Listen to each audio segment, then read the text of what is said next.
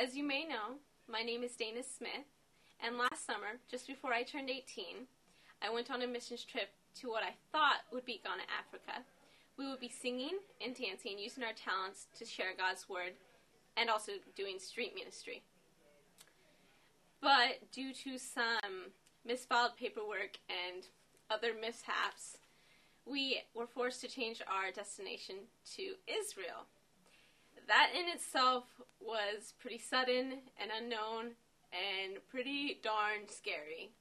Not to mention finding out in the middle of airport madness at 12 a.m. on zero sleep on my birthday. Most missions trips testimonies that I've heard are pretty uplifting, motivating, telling how they saw God move through them and stuff like that. But my experience was a little different and not what I expected at all.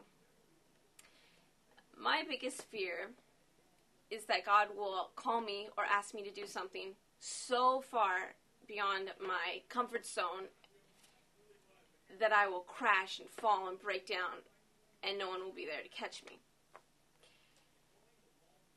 And this summer, my biggest fear came to life. In Israel, I had no mommy to watch over me. I didn't have my friends who know to comfort and guide me. I was all alone. I had many panic attacks, and I was pushed far beyond my mental and physical abilities. I was forced to search out God and trust that He would take away my anxieties and get me through all the fears and doubts that I had. I felt so alone but I didn't miss my family or my friends very much. But inside, I still had this deep longing, something that I couldn't really place while I was in Israel.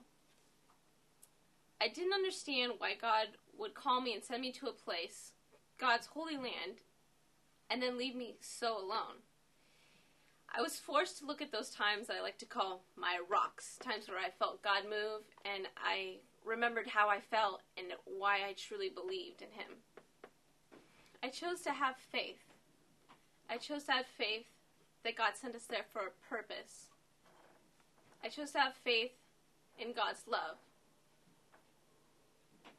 And God rewarded my faith. There were definite times where I felt Him directing me, comforting me, and showing me that I was not doing it on my own.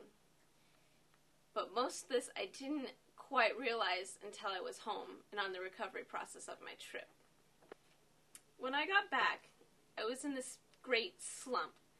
I wouldn't call it depression like, but more all these emotions and feeling that I couldn't place. I was overwhelmed, and I did this kind of like journal sort of thing. And God blessed me with a song that helped me sort out all these emotions.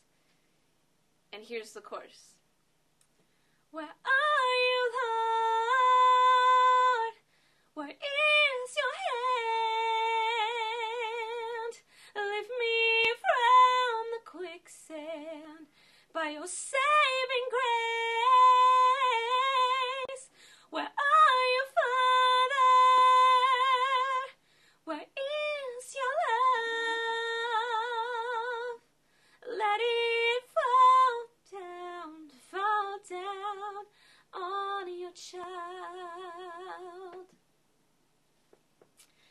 I realized that God never left me.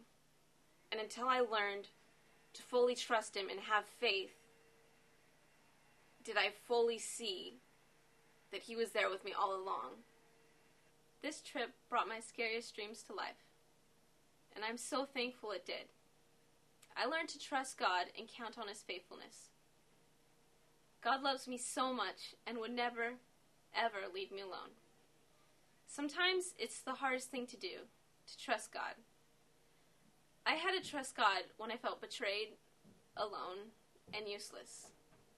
And by trusting God, He showed me that none of these things were true. 1 John 4:18 is a good summary of what I learned on my trip.